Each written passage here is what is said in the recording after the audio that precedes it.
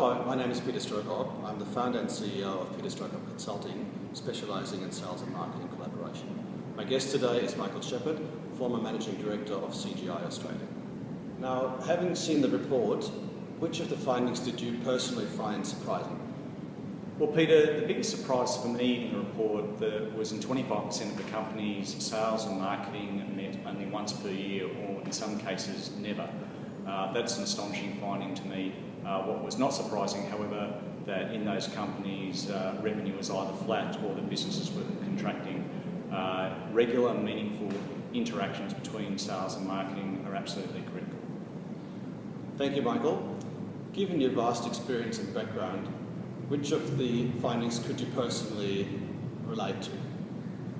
Look, Peter, a finding consistent with my experience is that whilst marketing generally understood the objectives of sales, uh, the reverse was not always true.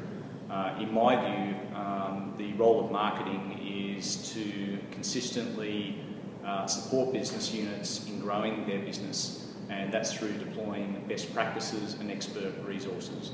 That can include developing offerings and value propositions, uh, being able to articulate uh, how a business can add value to the industries they serve and the solutions they specialise in, uh, deploying uh, client-based marketing or deal-based marketing, uh, best practices methodologies, deploying expert resources, particularly for specific opportunities and, and, having those resources, resources often being dedicated to those opportunities, and being able to uh, grant easier access to the sales team to knowledge assets, sales tools and collateral.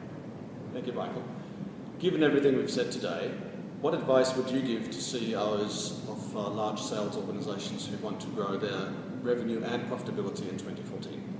Peter, if I could give one simple piece of advice, it goes back to the first point I made about the need for frequent and meaningful interactions between sales and marketing. A very simple solution for this that I would recommend is to put in place what I call a business development visibility system. Uh, conceiving solutions to client success is complex and thus the need for meaning and meaningful and frequent interactions uh, becomes a critical success factor. So what I'm recommending is that there should be one meeting per week that is totally dedicated to business development management. And that should include what I call an organisation's go-to-market team, and that means sales, marketing, and delivery stakeholders.